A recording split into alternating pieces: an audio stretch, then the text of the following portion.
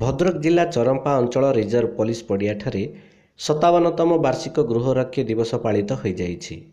ବାର୍ଷିକ ଦିବସ ପାଳିତ ଅବସରରେ ଭଦ୍ରକ ଆରକ୍ଷୀ ରାଜେଶ ପଣ୍ଡିତ ପ୍ୟାରେଡ୍ରେ ସାମିଲ ହୋଇଥିଲେ।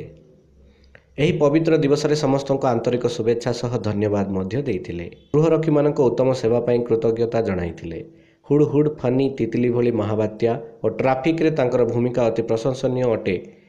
ଉତ୍ତମ ସେବା ପାଇଁ ଭଦ୍ରକ ଜିଲ୍ଲାରେ କାର୍ଯ୍ୟରତ ଗୃହରକ୍ଷୀମାନଙ୍କୁ ସମ୍ମାନ ସହ ମାନପତ୍ର ଓ ଟ୍ରଫି ପ୍ରଦାନ କରିଥିଲେ। ମୋଟ ବାର ଜଣଙ୍କୁ ପୁରସ୍କୃତ କରିଥିଲେ। ଭଦ୍ରକ ଜିଲ୍ଲା ଅତିରିକ୍ତ ଆରକ୍ଷୀ ପରିଡ଼ାଙ୍କ ସମେତ ବହୁ ମାନ୍ୟଗଣ୍ୟ ବ୍ୟକ୍ତି ଉପସ୍ଥିତ ଥିଲେ। ଭଦ୍ରକରୁ ସାଧନ କୁମାର ଧରଙ୍କ ରିପୋର୍ଟ। ଉତ୍କଳ ଖବର।